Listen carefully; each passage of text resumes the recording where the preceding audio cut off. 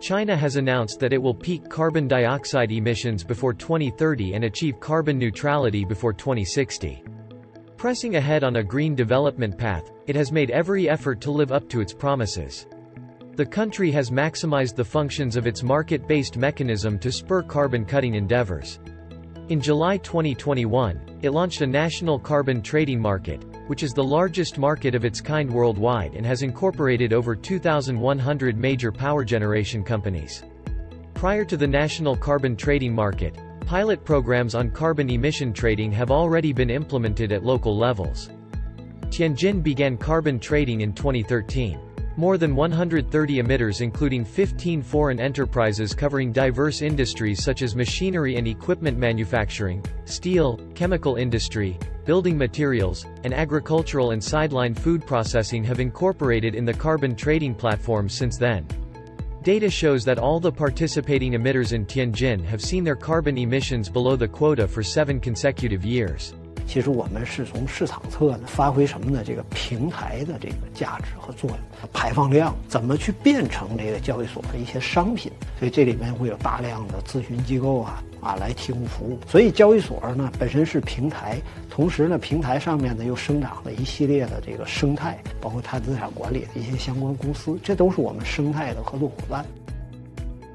Meanwhile, an increasing number of foreign enterprises have also played an active role in achieving the country's dual carbon goals, and China's emphasis on renewable energy has created a vast market space for them. Flender, a leading global supplier of mechanical drive systems, is one of them. The German firm recently launched the 10th phase of its capital increase and expansion project in its Tianjin subsidiary.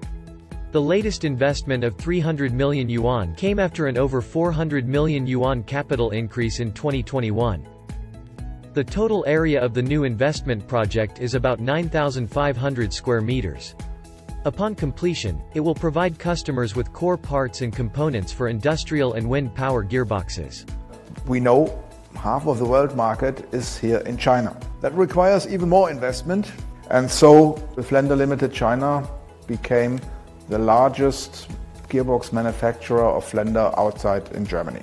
Very supportive policies, especially also the China government with their 30-60 targets. We are quite confident that we are in the right market at the right place. Tianjin really developed as, really, as the pioneering city for the wind industry, offering excellent infrastructures with the harbor, with the universities, gives us the confidence that we, with our products and our solutions, can further grow in this market. Until 2060, we'll have such a great development of carbon neutrality. In 2021, China's carbon dioxide emissions per unit of GDP dropped by 34.4% from 2012, and the share of coal in primary energy consumption fell from 68.5% to 56% during the period.